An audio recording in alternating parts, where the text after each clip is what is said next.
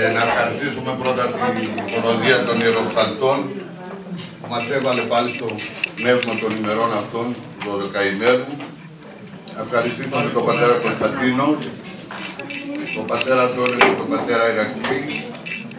Να ευχαριστήσουμε την αδελφότητα εδώ του της Ονορίας του Αγίου Νικολάου, που πάντα είναι φιλόξενη και με κάνει να δικαιώνομαι γιατί όταν ε, με τον Παπάς Κώστα ζητήσαμε ας πούμε, να αδελφοποιήσουμε τους αδελφότητες ε, τελικά αυτό το πράγμα μας δίνει χαρά γιατί ανταλλάζουμε τις σκέψεις, ε, νοημίες και ζούμε μέσα στο πνεύμα αυτό που πρέπει να ζούμε σαν χριστιανοί, το πνεύμα δηλαδή που όπως είπε ο Χριστός ότι όπου οι, οι δύο ή τρεις συνηγμένοι στο εμόν όνομα εκεί είμαι και εγώ εν μέσω αυτών.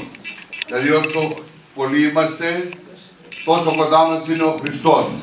Γιατί ό,τι ποιούμε, ό,τι κάνουμε εις δόξα Θεού ποιούμε. Έτσι λέμε στην Εκκλησία. Αυτή είναι η αναφορά μας, είναι στο πρόσωπο του Θεανθρώπου Χριστού. Για μας αγαπητοί μου τα Χριστούγεννα δεν είναι μια μέρα, είναι κάθε μέρα, όχι βέβαια σαν ιστορικό γεγονός που έγινε ένα βράδυ και σταμάτησε, αλλά το μήνυμα των Χριστουγέννων, δηλαδή ο ερχομός του Χριστού στον κόσμο, η εναρθρώπιση του Χριστού, για μας είναι καθημερινή σκέψη, γιατί έχει να κάνει με τη σωτηρία του ανθρώπου. Ο Χριστός ήρθε στον κόσμο και μας έδειξε έναν τρόπο ζωής το οποίο, ο οποίος είναι συμβατός με τον άνθρωπο και ο οποίος τρόπος αυτός ζωής, αν ο άνθρωπος τον ακολουθήσει, τον τρόπο αυτός ζωής, έχει ελπίδα, έχει σωτηρία και έχει και όραμα στη ζωή του. Αυτός ήταν, τον, αυτό είναι το νόημα του Χριστού, του ερχομού του Χριστού στον κόσμο. Ο Χριστός δεν ήρθε ούτε για να δικάσει, ούτε για να κατακρίνει, κανέναν δεν έκρινε ποτέ, αλλά ήθελε να μας αφήσει, ήρθε για να μας αφήσει έναν τρόπο ζωής. Να μας μάθει πώς να ζούμε. Και βλέπετε ότι έχουν περάσει 2.000 χρόνια σχεδόν από τον ερχομό του Χριστού. Οι αρετές και οι αξίες του Ευαγγελίου είναι διαχρονικές, δεν αλλάζουν.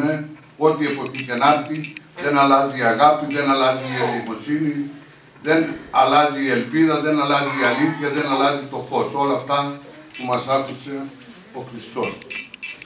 Έτσι πρέπει να σκεφτόμαστε, έτσι πρέπει να ζούμε και εμείς οι ιερείς που έχουμε μεγάλη ευθύνη απέναντι σε εσάς, δεν είναι ο σκοπός μας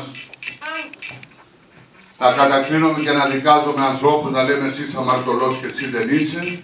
Ο σκοπός της Εκκλησίας δεν είναι αυτός.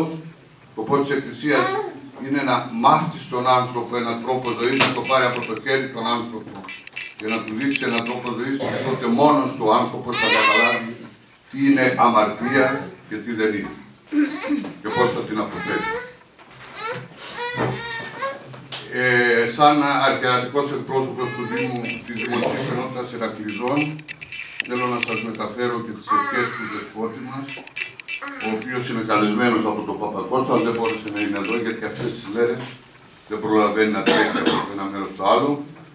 Σας εύχεται υγεία, ευτυχισμένη καινούρια χρονιά, όπως και εμείς όλοι σας ευχόμαστε.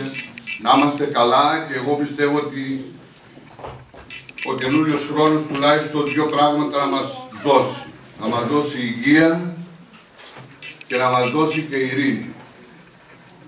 Είμαστε σε μια ευαίσθητη περιοχή και πρέπει να παρακαλούμε το Θεό να ζούμε ειρηνικά σε αυτό το χώρο. Όλα τα άλλα θα τα ξεπεράσουμε. Όταν είμαστε καλά και όταν ζούμε εν ειρήνη. Με αυτά τα λίγα λόγια σας εύχομαι καλή χρονιά στις οικογένειές σας, σε εσάς και να είμαστε καλά και του χρόνου να επαναλάβουμε το ίδιο σκηνικό. Να είστε καλά.